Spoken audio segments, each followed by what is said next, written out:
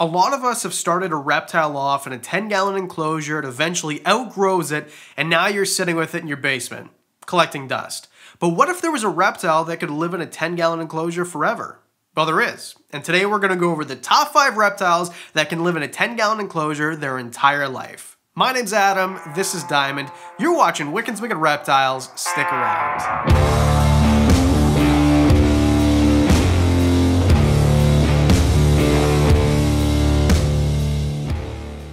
First things first, I would never recommend keeping a reptile in their minimum size enclosure. So although all of these reptiles can live and live a pretty good life in a 10 gallon, you're always better off with a 20 for all these animals except for one. So let's just get into it and start it off with number five, ringneck snakes. Now the reason that ringneck snakes are number five is because they're the only one on the list that don't really make great pets. Now you can have them as pets, and there is a little bit of captive breeding going on, but most of the time if you see these in someone's collection as a pet, they probably collected it from outside or got it from someone who did because the breeding efforts are next to nothing. With these, they're almost non-existent. But we do see people starting to breed them more readily just simply because people like micro pets. I wouldn't put that as a selling feature on these snakes because I think most snakes, even these guys who only top out around 30, 40 centimeters, and for those of you who don't know metric, just over a foot. just over a foot is how big you're gonna find these guys, which kind of works because usually the idea is the snake can be the length and the width uh, combined of an enclosure, and that's the minimum size. And a full-grown ring snake might be actually able to stretch out the full length of a 10 gallon and still have room. So it just depends. Still, 20 gallon would probably be better, but the reason I think that ringneck snakes are gonna make some sort of resurgence or I don't know, jump in popularity is because people have figured out how to breed them. And it's funny, when I looked at the snake, I just figured, because I knew nothing about them, I figured they would be a live bearer because they're so small but they actually do put out eggs. They are these hilarious little oblong eggs that are sized like like the size of a dime, basically. They look hilarious. And these snakes themselves are very fragile. These are kind of the ones that you take out once in a while to take pictures of, to, to really enjoy and look at, look at in their enclosure, things like that. And because you can find them all over North America, I mean, it's probably more likely you'll be able to find them here in North America. But if you're in the UK thinking, man, that'd be really cool, well, I imagine in years to come we will see these more popular in the pet trade, but they're never going to be a corn snake in terms of popularity. But if you're dead set and you want a ring neck snake, they do eat bugs. They are insectivores, which is going to be a running theme in today's video, which is kind of cool because it's a snake that doesn't need to eat rodents. And that's a big thing for a lot of people.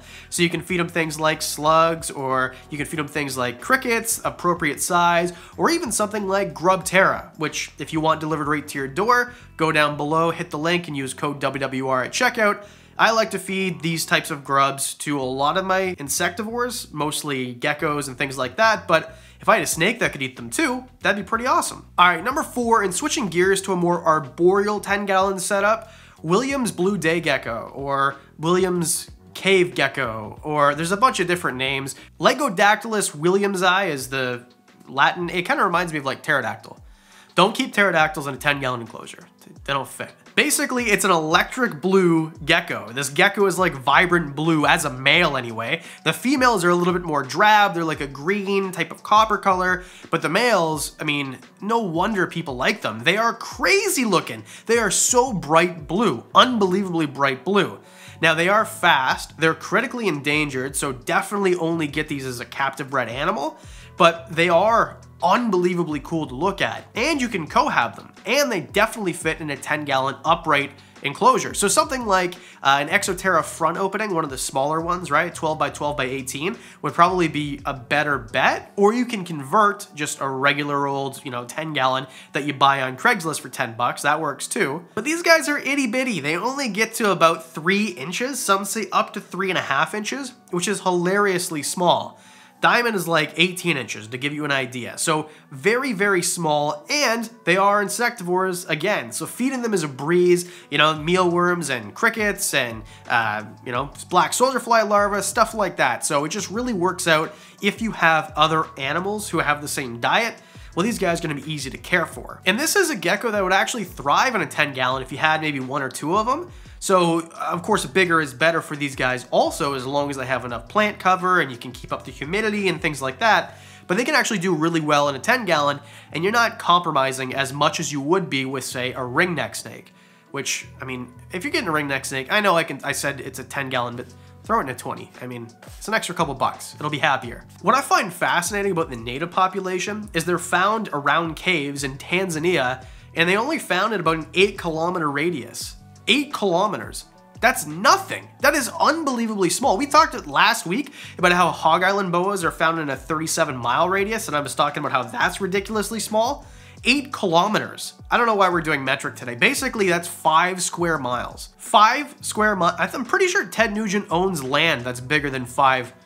Like, that's so crazy. Gotta have the right attitude if you want to play rock and roll guitar, man. Just one thing before we move on, if you want to win a free shirt, all you gotta do, hit subscribe, hit the like button, leave a comment with this emoji, and likes the Instagram page. That's it. Four clicks and you're entered at 100,000 subscribers. We'll draw 10 free shirts no matter where you are in the world. If you, okay, you get the point. Let's move on. Number three, African dwarf frogs, which of course are amphibians as they are frogs.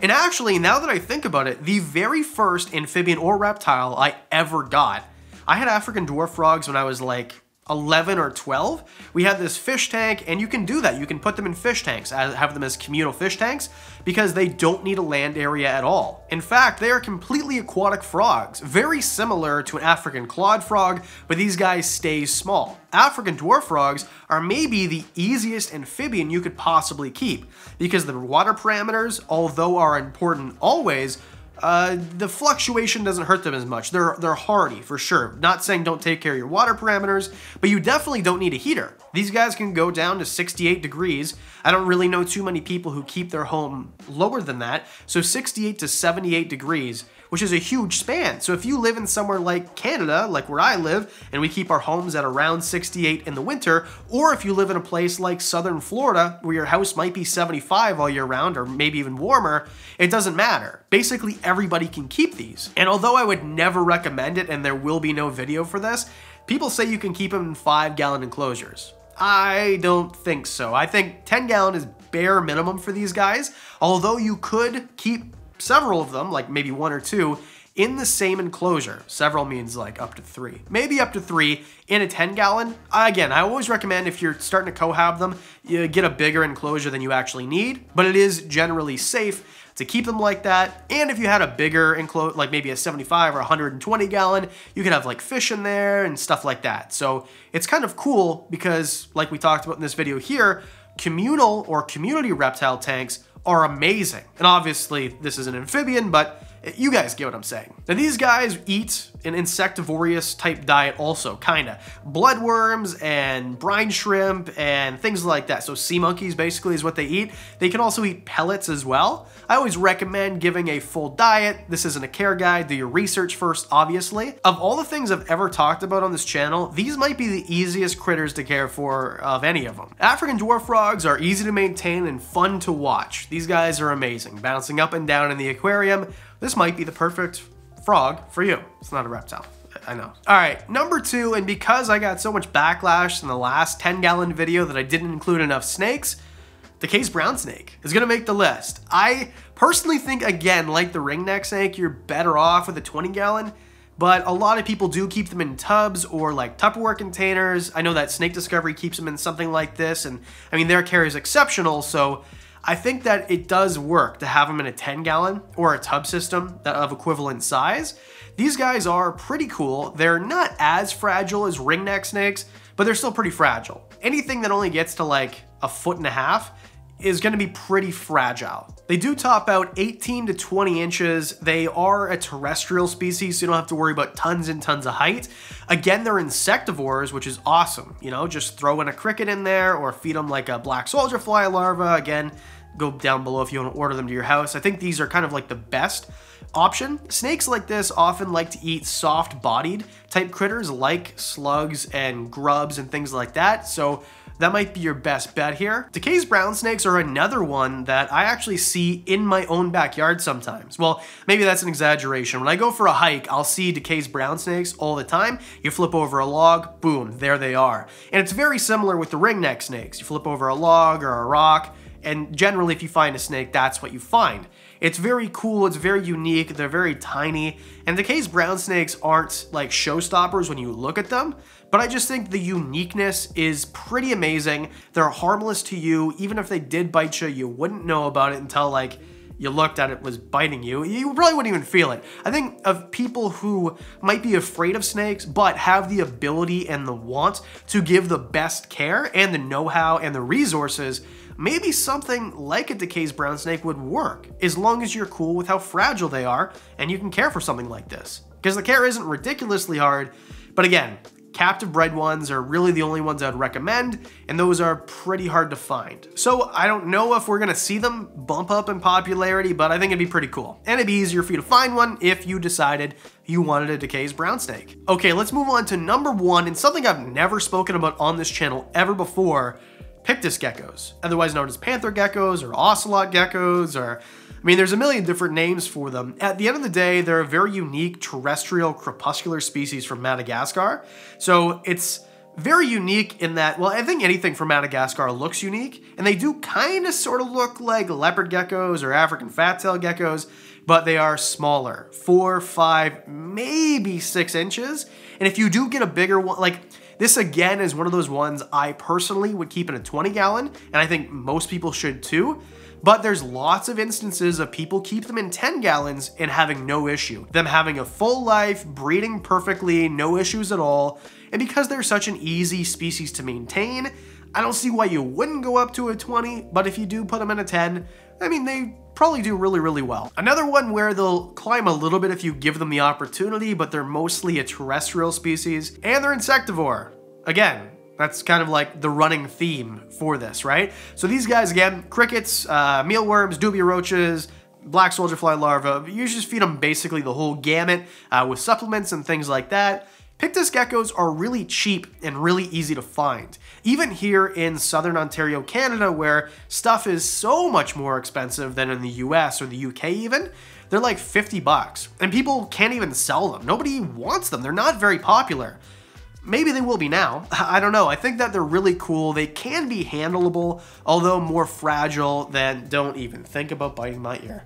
Although more fragile than a leopard gecko or even a cave gecko or something like that, they are handleable and they could make really great pets. So there you go. Those are your top five reptiles that could live in a 10 gallon enclosure forever. What do you think? Do you think that this was a good list? Did you realize that this was just baiting you into thinking that you can keep stuff in 10 gallons when really you should keep them into 20s?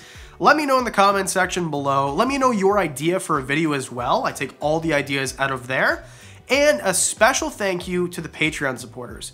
You guys are freaking amazing. You get to see videos early, extra videos. We've got a couple coming up next week that Patreon only. You get discounts on the merch, things like that. And as always, you can be a patron too for $1 a month. Link in the description below. I'd really appreciate it, and so would Diamond.